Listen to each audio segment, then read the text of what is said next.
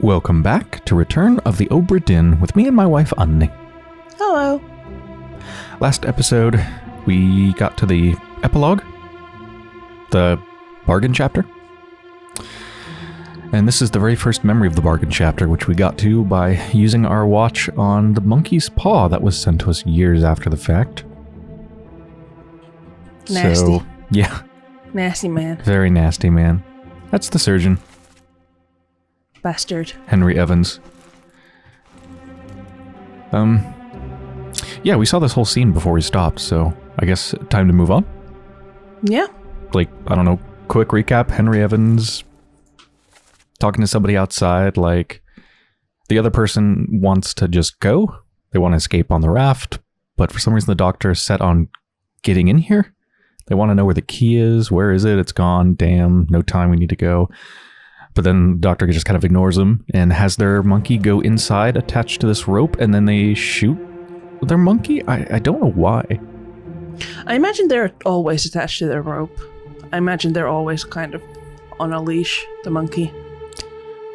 Yeah, yeah, that makes sense.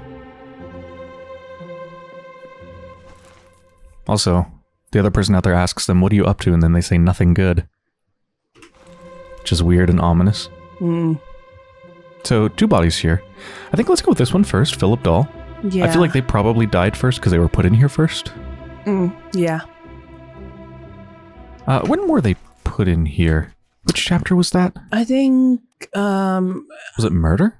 Uh. No. I think it was the beginning of um Soldiers of the Sea.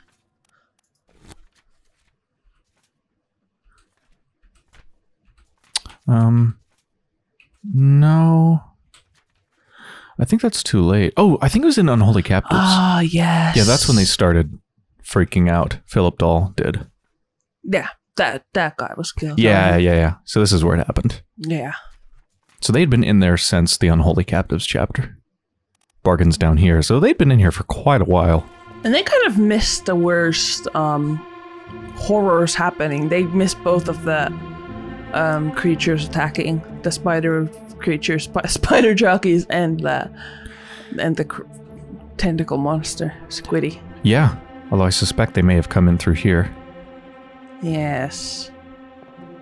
So let's go with this body.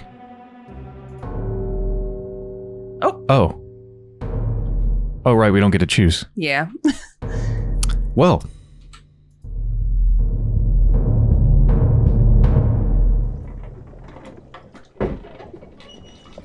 A third shell. Captain didn't toss them all. Leave it. Help me lift this.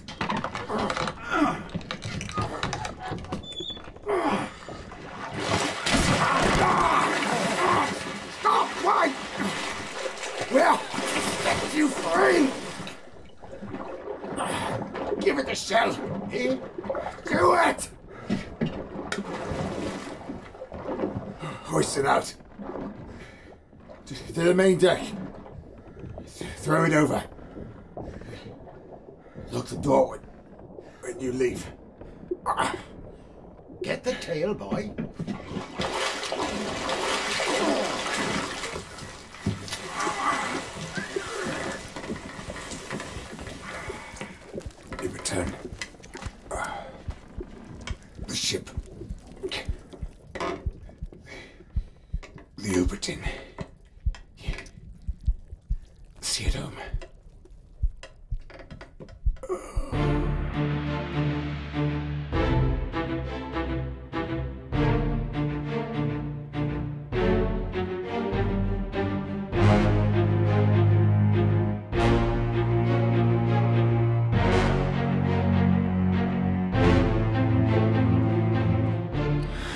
So they dragged the thing out of here. This is not actually. This doesn't actually go directly into the water, does it? Is it No. just like a water holding tank? Yeah, I think so. Ah, so this is where they had put them. Let's uh, let's look at that dialogue. Oh, I can't until we're out of here.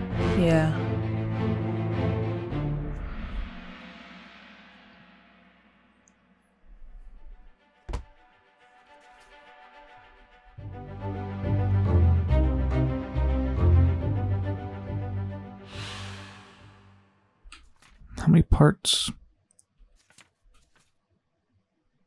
Hmm, the very last part of the bargain was when the doctor shot the monkey.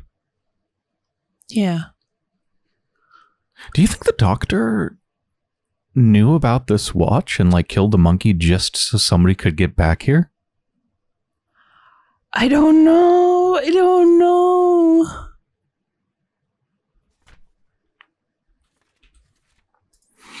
Okay, yeah. Which which voice is Martin? Somebody else saying a third shell. Captain did. Uh, hold on. Let's see who's present. It says two others, Fourth mate steward and and they're the third mate, so that's not their steward. And first mate first steward. mate steward. Um.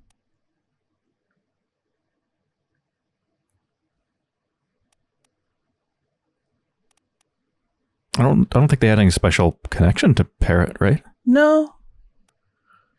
Just kind of the mates, underlings. Yeah. Oh, this is one of the ones that escaped to Africa. Yeah. This one did not. No, they got killed by the Russian before they could get to the boat, but they tried to get to the boat. Hmm. Because the Russians was, like, Oi, you won't take the last boat. Oh Stab. yeah, yeah, yeah. So one of the stewards was saying a third shell. Captain didn't toss them all. Then Martin says, "Leave it. Help me lift this. Stop. Wait. Where to set you free?" Oh, when they said stop. Wait, I think they were talking to the creature. Yes. I think it was like flailing a lot, uh, flailing around, or like about to attack him, and they like, "Hold on, we're trying to help you." Yeah. Give it the shell, and they they do right. Yes, The they do. shells on them. Yeah.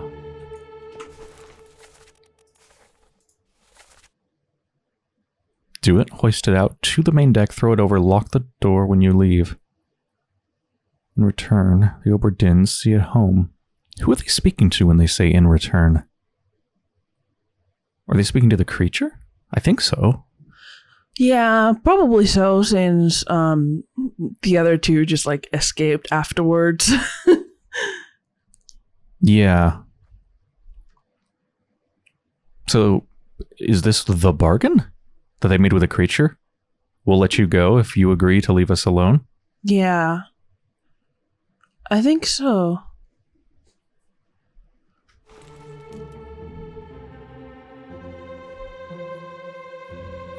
So, do they understand English?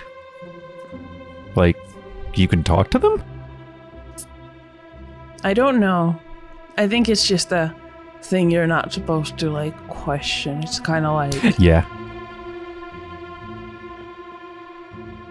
Hmm, ruining my suspension of disbelief. Bad game, plot hole. plot hole ding.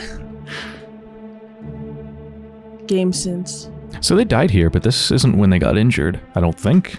Like, it didn't sound like they got hurt when they were trying to get the body out. There's no sounds of pain, just, I think they were just bleeding out during all this. Yeah, From, mayhaps. From those. We'll probably see that earlier. Yeah. I think we can guess their cause of death because they got spiked by a Yes. beast, but. Uh, yeah, let's wait.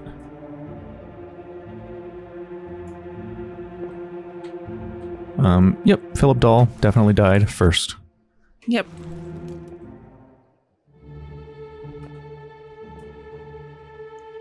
Is that like water? Because it's not level right now. It probably is. I imagine maybe you have to keep the shell in water to preserve it, Hmm. or it'll become brittle or something like that. Yeah, that makes sense.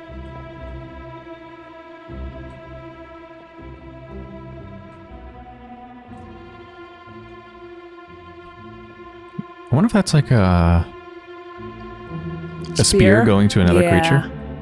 Maybe.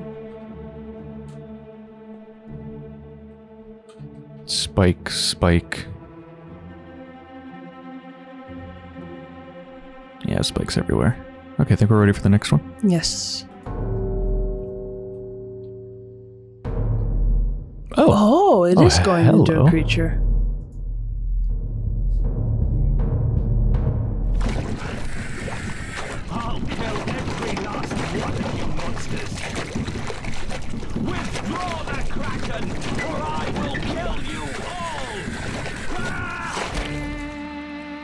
Is that the last ah, yeah.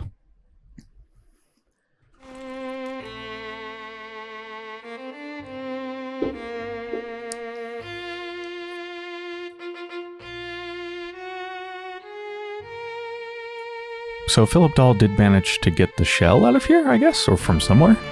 Hmm. But We'll see.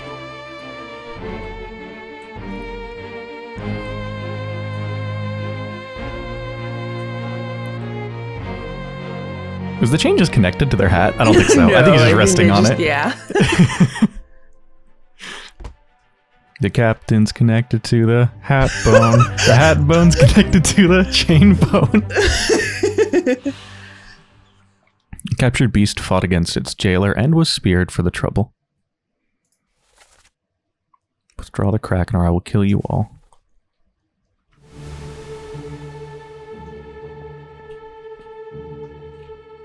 Is it one other person present? Does that mean that Philip Dahl's not dead yet?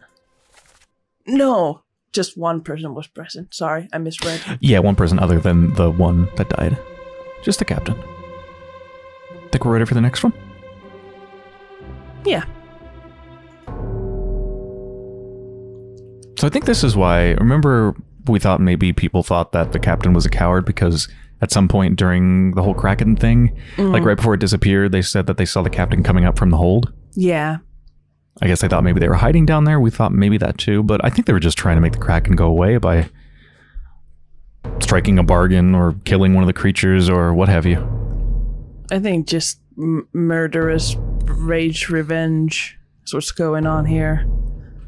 I don't think the captain's a good man, especially since he kept one of the shells. I think he's also a greedy bastard. Hmm. Motherfucker. Nichols disease, we call it. Call it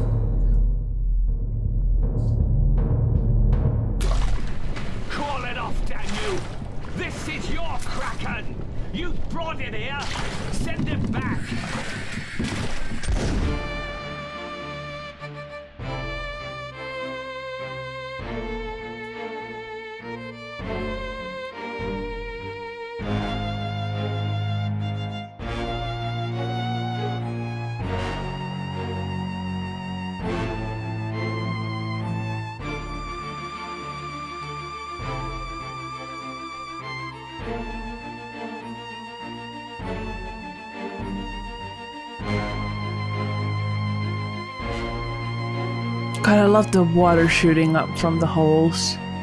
Yeah.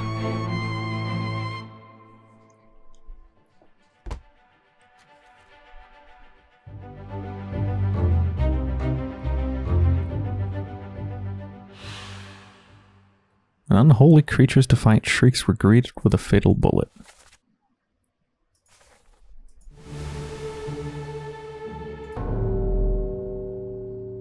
Finally, we knew how you died.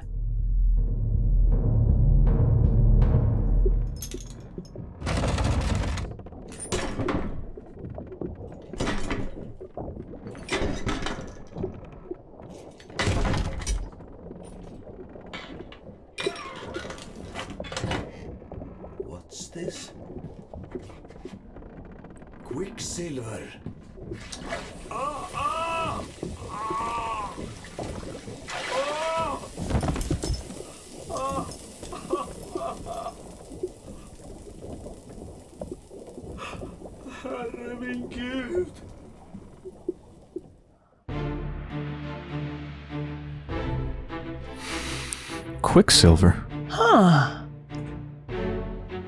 Sounded kind of like an acid. Yeah.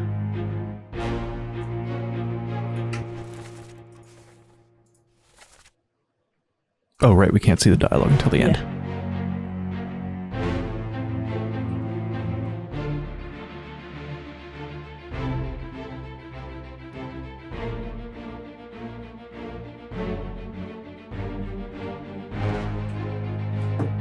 look up what Quicksilver actually is.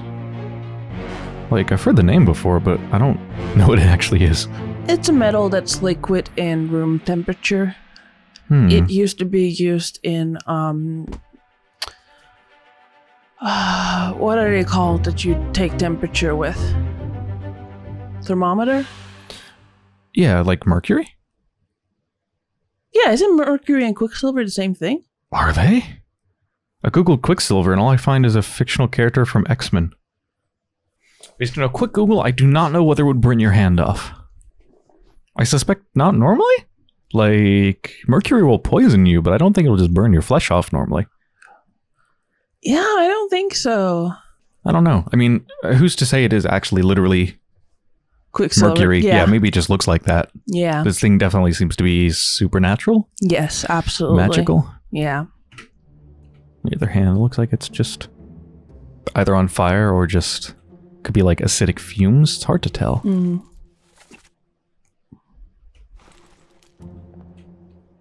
So basically, curiosity killed the cat. He was like, "Oh, well, what's this?" yeah. We can mark mark their causes of death now. Um, I mean, yeah, like what is that? Well, we successfully said that they were burned for eat bang, so I guess we can just go with that. Yeah. Poisoned? Not really. That's not what killed them, at least. No. Yeah, burned.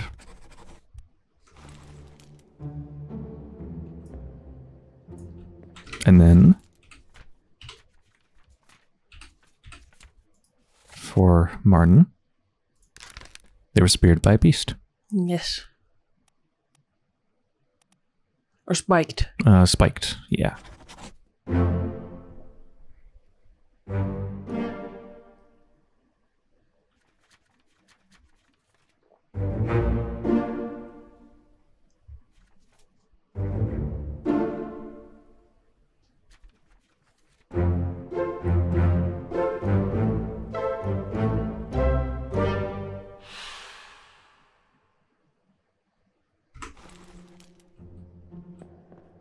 All Harun.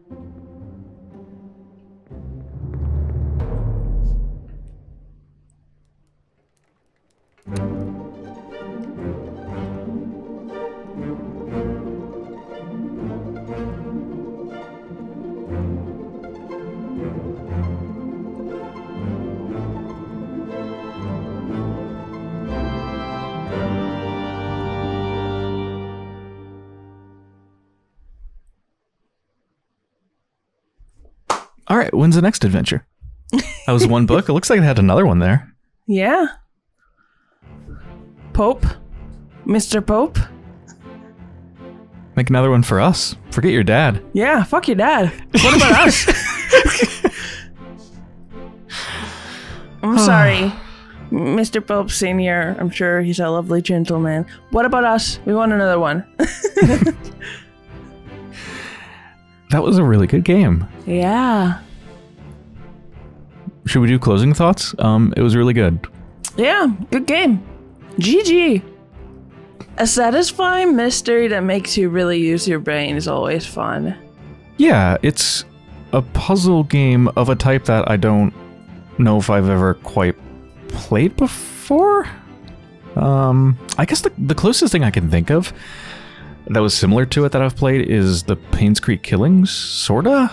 Um, I guess in the sense that it's a puzzle game, but it's about piecing together what happened, uh, rather than about like sliding block puzzles or making machines work or anything like that. Yeah. Although this is one was like a lot more like structured. Definitely, Painscreek Killing was completely unstructured, really. And um, compared to Painscreek Killing, uh, the story was like very simplistic, very black and white, very like good people, bad people, very disappointing in the end. Like very interesting journey, like worth it, but like not not really peak story as much as interesting game storytelling. But this one is really also just like a good story. Yeah, it was messy and weird and had tons of people with all sorts of different motivations. it felt like a story with a message, you know? Like I felt like this story was saying something just as instead of like just being a bunch of shit that makes you go, whoa. It is just a really well told story. Yeah. Like there's definitely a thing of like selfishness, human selfishness and like man versus nature thing going on. Yeah, yeah, most things that went wrong come down to greed. I think the only thing that didn't was the the deaths at the very beginning as part of loose cargo. I don't. Yeah. I don't think that had anything to do with the shell or anything like that. But then again, the Formosan family had the shell, which they should have never had. Yeah, actually, that's a very interesting point. I hadn't really thought about that. Where the hell do they get the shell and the thing from? They obviously stole it from somewhere. Yes. They obviously stole it from those creatures, and they wanted it back, right? Yes. Which I think is kind of like I don't know if I personally like piss off a world in a water, I wouldn't be like, all right, let me sail back. Like I get that at the time it was the best way of transporting yourself, but I just be like. I'm gonna, I'm gonna like trick. I'm gonna try. I'm gonna do this trick. Do you think if you solved like none of the fates and finished the game, that they would send you a letter like, "Wow, we hired you," or like, "You suck, you're awful," and they send us a package, and the person's like, "Man, it smells like death," and you open it, and it's just shit, just dung. You send it to the guy and it just comes back like, bitch, what the fuck?